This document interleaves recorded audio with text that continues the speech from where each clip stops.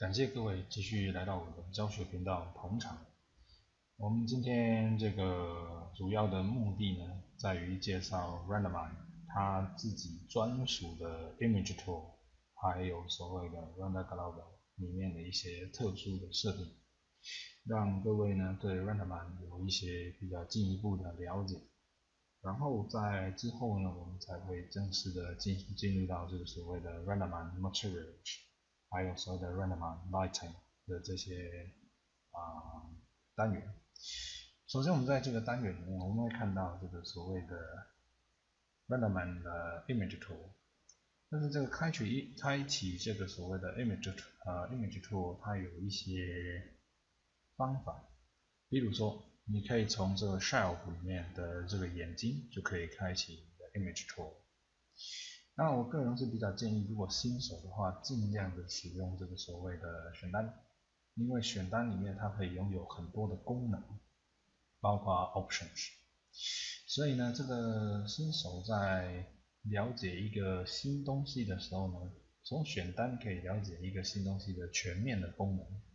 如果你从 shelf 里面这个开始使用的话，你可能对于一个新东西的功能的了解可能就会比较少了。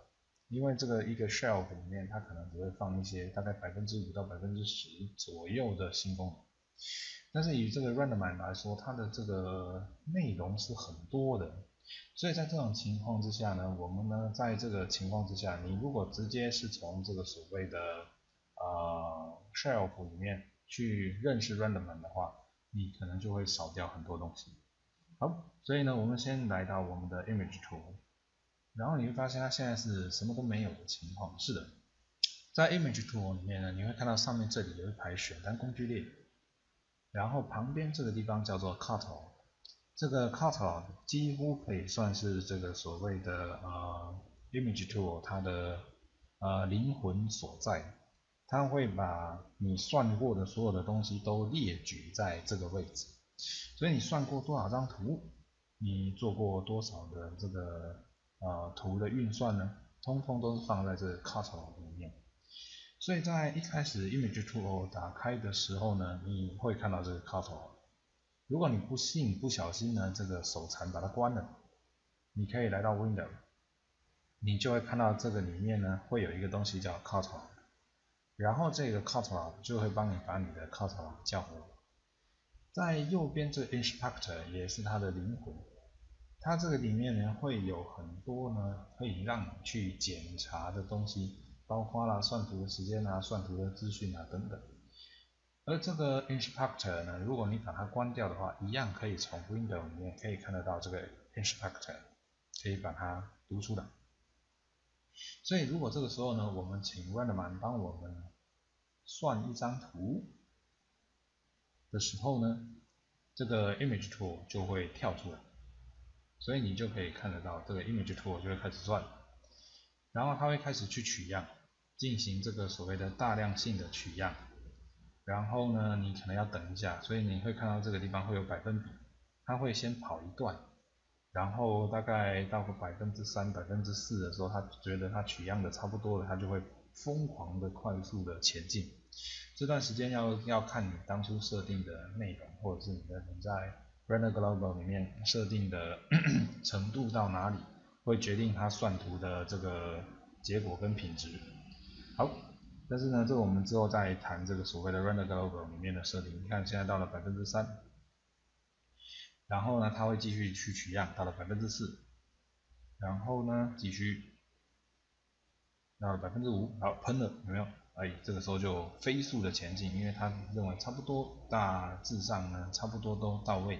所以你可以看到它这样子开始跑，你可以在 image tool 里面，你可以看到它花了大概一分钟左右。所以这 inspector 呢非常的重要，它几乎可以算是把你的这个你的算图的这个时间啊，以及这个所谓的你的内容啊，都会显示在这个地方。然后你会看到你的 catalog 的里面的内容。除了这个之外呢，还有一些很重要的功能在 image tool 里面的 window。你会看到这里有一个叫 image tools。如果你把这个勾勾拿掉，你就发现，诶，上面这一排少了一些东西。对，因为呢，你的这个这里呢，它有很多的功能，比如说你想要移动你的这个你算好的呃物件的话，你想要移动你算好的物件，移动你算好的图，你只要左键压着，你只要把你的左键压着，你就可以拉它走，所以这个是所谓的移动工具。而这个放大工具是干嘛用的呢？顾名思义就是放大的，了解吗？顾名思义就是放大的，所以呢，你可以稍微放大看一下它的一些比较细部的地方。可是呢，这个你要注意，它还是会有这样的一个锯齿边失真的情况。所以呢，这个移动跟放大，可是移动跟放大有没有快速键呢？如果你 O 头键呢，这个压着，再加上这个所谓的啊一些这个滑鼠的中间键的话，去拖拉，你可以看得到，你可以进行放大，OK 吗？你可以进行呃，sorry，滑鼠的右键。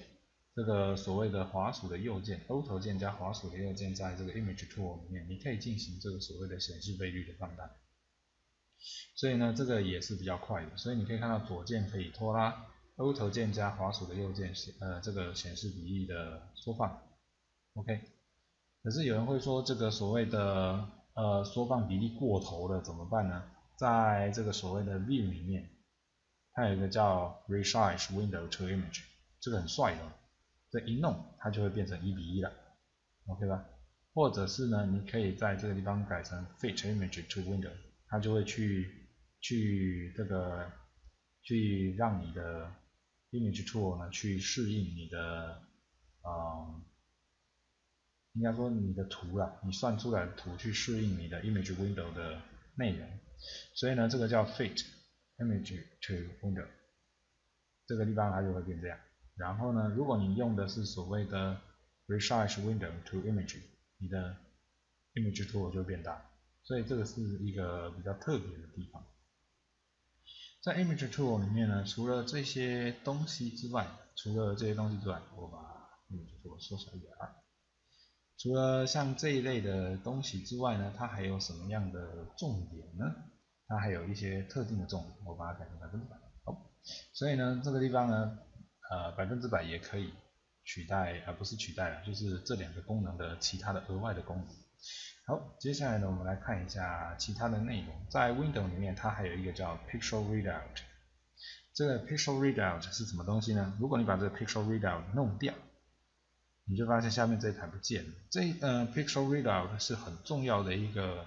视窗的提示功能，包括你现在的这个呃 RGB 的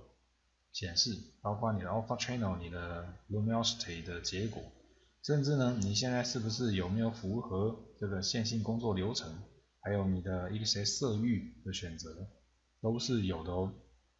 还有包括你现在滑鼠在上面滑来滑去、滑来滑去、滑来滑去，这些，那你现在在哪个坐标点，以及你现在选择到什么颜色，这些都是这个所谓的这个啊 Pixel Readout 是在用的。然后这里有个叫 Sequence Controls，这个 Sequence Controls 是什么东西呢？如果你把这个勾勾拿掉，你会发现后面那个所谓的可以 play 的地方不见了。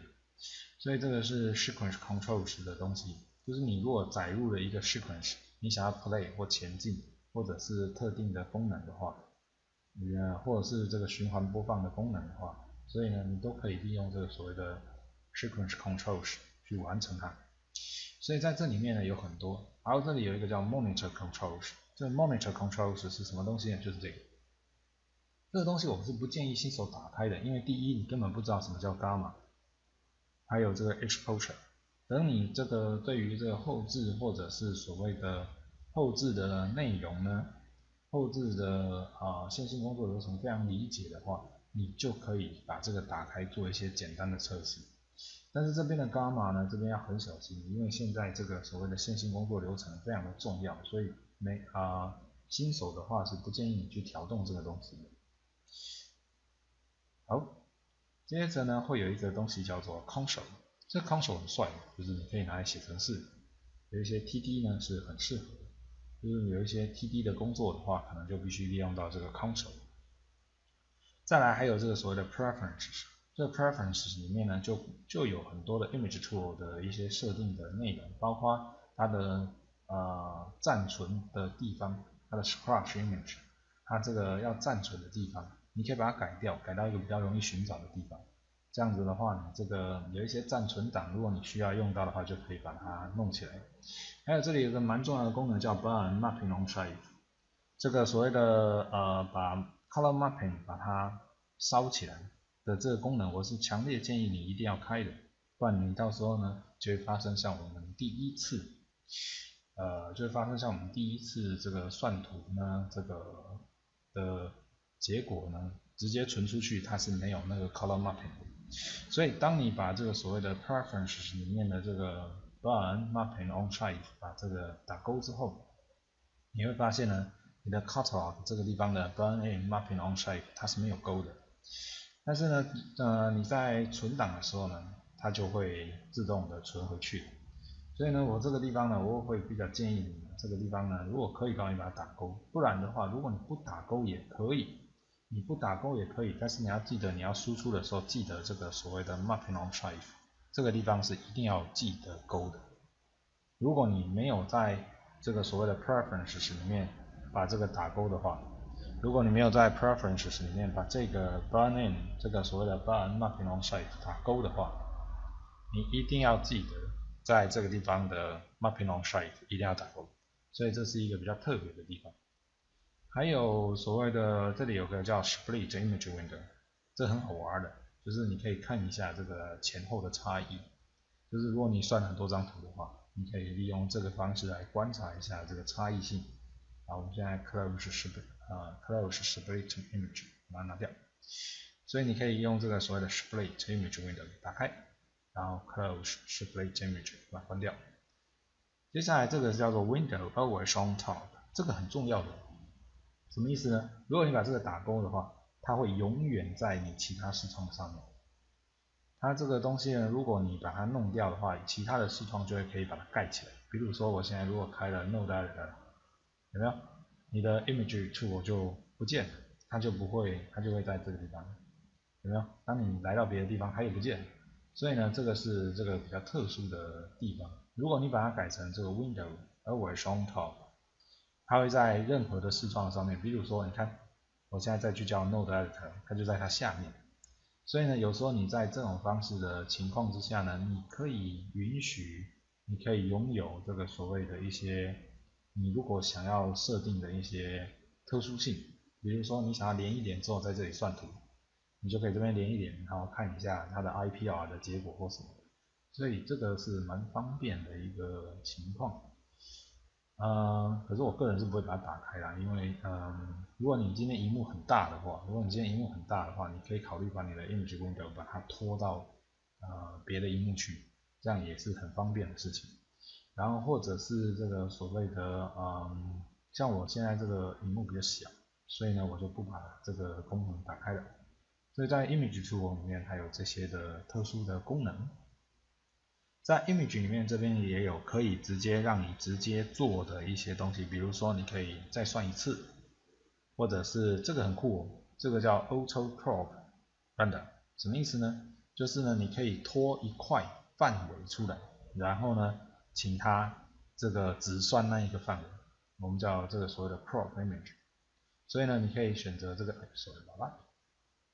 来关掉，你回去，嗯，OK，我把它弄到了，不好意思。所以呢，这个我们可以看一下，比如说我选择这 auto crop render，打勾了之后呢，我去这个所谓的，在这个地方，在这个位置呢，它叫做所谓的 crop image。然后你就可以拖一块，然后它就会自己重算。所以叫这个地方呢是还蛮酷的，就是说你如果把这个所谓的 image 里面的 auto crop render 打勾勾，然后呢你使用这个所谓的 crop render 或者是 crop image，然后呢你去拖拉一块，它就会自动只算那一块，这还蛮帅气。可是呢，可是要注意一件事，如果你用了这个 crop render，的这个功能的话，它有一些特定的情况是不能用的，我们后面会给各位谈。所以呢，这个 crop render 呢，它有一些特定的情况是不允许你使用的。所以呢，在这个地方我把这个 Crop Render 把它关掉，回到我的移动工具，然后我把 Auto Crop Render 这个也勾勾也拿掉，然后呢，我可以请它再算一次，OK，然后或者是取消它的算图，或拷贝这个图像，或者是拷贝这个所谓的我们刚刚说的这个 Crop Render 的结果，然后贴到别的地方去或删掉这个图像等等之类的。所以你如果说你要 delete image，它的这个所谓的快速键是 box space 所以你可以直接把它 delete image，明白？所以呢，这样就成了。所以这个地方是比较特别的地方。当然你可以把背景把它锁起来，不过我们这边没有背景，所以呢，基本上也锁不太起来。所以呢，这个地方呢，我们除了这些地方呢，还有这个所谓的一些特定的功能，比如说像是这个所谓的。啊，这个位置，这个位置的话，各位要很小心。这个在 view 这个所谓的 monitor adjustment 这个地方呢，它非常的重要。它重要在什么地方啊？比如说它的光圈可以升一档跟降一档，可以让你在这个呃算图的呃 image tool 里面先看一下，就是你灯光如果觉得不太亮或怎么样，或出了什么问题，你可以用这种先测试，然后再回到玛雅里面去。这个重新的把这个啊光圈再调过，所以这是一个简单的测试，这不是最后的结果，所以同啊各位不要不要这个不要对这个事情进行这个所谓的啊乱调或什么的，这是给你测试用，你可以直接加一档光圈或减一档光圈，比如说光圈二点八呢，你如果加一档，它就往上调到五点四之类的，而这个地方伽马值也是一样。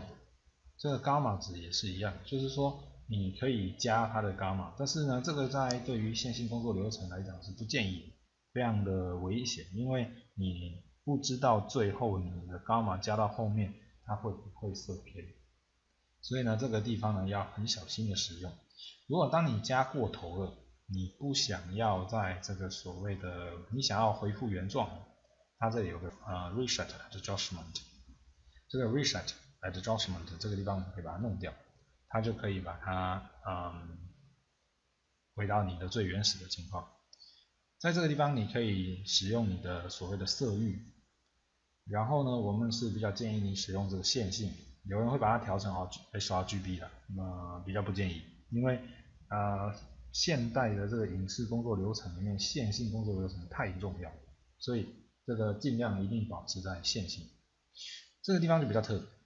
这个 display view，如果你把它改成 none，